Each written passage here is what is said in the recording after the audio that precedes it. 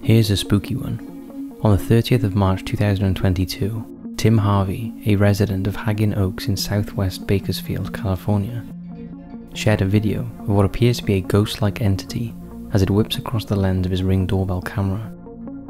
According to Harvey, the flash of light, which seems to have a trailing appendage of orbs, descended at rapid speed from the southern region of the sky and through a set of trees before whizzing past his house and out of sight.